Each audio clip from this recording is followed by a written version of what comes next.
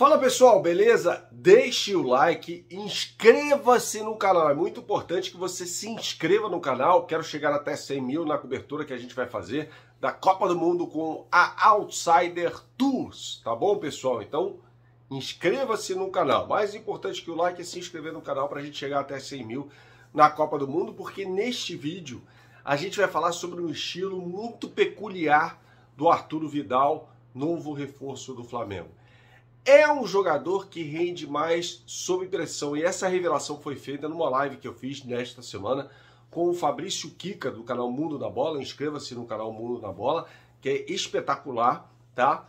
E aí o Kika revela que na Bundesliga, no Bayern de Munique, Arturo Vidal foi o jogador que mais passes acertou quando pressionado. Ou seja, diferentemente, ele usa até essa analogia, diferentemente do Diego Ribas, é um jogador que quando pressionado verticaliza o jogo, faz o jogo andar para frente. Isso é fantástico. Você vai ouvir tudo que o Kika diz sobre Arturo Vidal neste vídeo que tem o patrocínio do Speech. Não conhece o Speech, meu camarada? Melhor jogo no estilo fantasy game que tem no mundo com autorização, inclusive, para você escalar o seu time para Campeonato Brasileiro, Libertadores da América.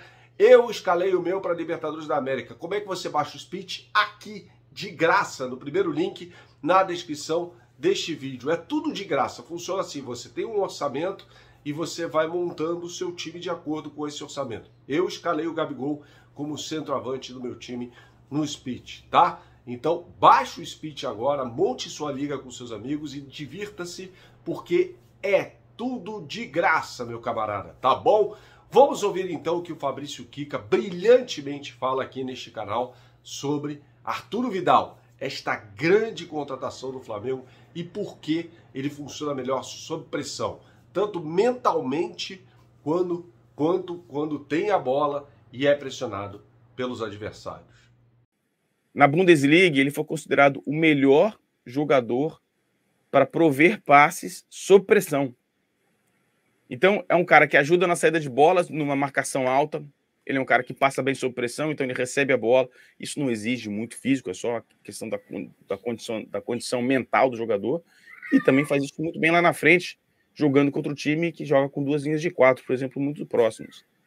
E aí, eu comecei a pensar num jogador do Flamengo que tem sido muito criticado, com razão, inclusive, que é o Diego. Você até fez um vídeo aqui, né, dizendo não dá mais, etc. O Diego é o oposto dele nesse quesito. Sob pressão, o Diego gira, gira, gira, gira e não, deve, não desenvolve a jogada. O Vidal tem uma característica oposta. Ele recebe a pressão, às vezes ele atrai a pressão e por ser bom passador, quando você atrai dois jogadores para te marcar, alguém alguém está livre. E essa era uma característica que foi ressaltada nessa análise tática do Vidal. Então, é, a parte física pode comprometer, é claro, depende muito do comprometimento dele. Ele não me parece ser um jogador que vem aqui para terminar a carreira em baixa. Não é o que me parece ser. Agora, a gente sabe também que muitos jogadores saem da Europa, mudam a chave e falam: Bom, agora vim relaxar, né?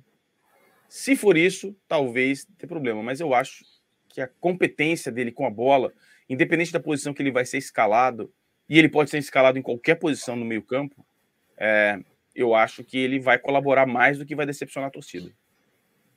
O Rafael Empreendedor aqui acha que o Flamengo vem crescendo mentalmente, tecnicamente, na hora certa, está contratando pontualmente com grandes reforços. Ele acha que vem títulos. Eu queria que você desenvolvesse essa história, Kika, por favor. O jogador que atua melhor quando sob pressão. Isso é possível, assim, é porque é geralmente. É, como é que funciona isso aí? É possível. É, isso é uma coisa muito pessoal e é uma, uma das grandes deficiências que o Flamengo tem no departamento de futebol é não investir pesadamente no psicológico dos jogadores. Há uma área vasta de pesquisa, vasta de pesquisa, que é comportamento de atletas de alta performance sob pressão. O que é preciso fazer para que o atleta renda o que é possível é, em situações sob pressão. Em situações sob pressões, não é simplesmente estar fora do seu, do seu ginásio, do seu estádio, é, ou estar com algum problema pessoal. É sob pressão em todos os aspectos, pressão inclusive de ter dois jogadores te marcando, tomadas de decisão. É, há uma, uma literatura acadêmica gigantesca a respeito disso. da importância desses departamentos, departamento de psicologia, psicologia esportiva, tem uma área, é, inclusive no Brasil, de psicologia esportiva, pós-graduação em psicologia esportiva. Então não é uma coisa simples, não é uma coisa é, que, ha, que, ha, que haja uma regra que sirva para todos os jogadores, é uma questão psicológica, ou seja, é de cada jogador. Mas o exemplo que eu, eu uso para ilustrar essa situação, Bernardo, eu aprendi no, no, último curso de técnico que eu fiz, que é o, é o último curso para que eu possa fazer o curso da licença B da FIFA, né, da UEFA. E nesse curso, o, o professor lá, o instrutor, perguntou para a gente quem jogava futebol, quem já tinha jogado futebol. Aí quase todo mundo na sala respondeu que sim, eu já joguei, já joguei, joguei. Aí o cara pega uma bola e joga para um cara, fala: o que, que você consegue fazer de truque com a bola? Aí o cara, ah, eu consigo fazer embaixada, tal, eu consigo pedalar. Né? Eu dou 10 pedaladas e dou um tapa de lado, que é um, jeito, um drible fácil, relativamente fácil e eficiente. Né? Você dá duas pedaladas, você dá um tapa levantando a bola, e o cara, quando, quando você está de frente para o marcador, você vem com a bola, você dá um tapinha na bola, jogando a bola na altura do joelho do seu marcador, do lado a 50 centímetros, não tem movimento que o jogador consiga fazer para bloquear essa bola. Então a bola vai passar e normalmente ele vai te derrubar. Por isso que quando você dá a pedalada, né, o cara te pega no meio. E aí um cara falou, ah, eu consigo fazer essa pedalada. O cara pega a bola, joga a bola no meio da classe fala, levanta aí e mostra pra gente. O cara vai, bom mesmo, faz rapidinho, vou dar um tapa. Aí o professor fala, pergunta para ele assim, quantas vezes você faz isso num jogo? Aí o cara, ah, puta, é difícil. Como é difícil? Você fez aqui, é um drible fácil, não precisa de aquecimento. Por que, que você não faz isso num jogo? E aí ele continua perguntando, fala, cara, quem aqui já viu no treino, você tá treinando um menino lá de 16 anos, que o menino faz tudo que ele quer com a bola, mas no jogo o cara não consegue driblar, o cara não consegue dar um passe certo, o cara não consegue dominar a bola, porque há um componente psicológico naquele atleta que faz com que ele não atinja mentalmente os skills, né, as habilidades que ele tem. E aí eu fiquei pensando, falei, cara, isso acontece comigo direto. Eu, tudo bem, né? Guardado todas as proporções, eu tô com 47 anos, jogo aqui o Master, né, cara? O campeonato Master. Tudo bem, organizado, bandeirinha, tal, camisa, vestiário, é lindo.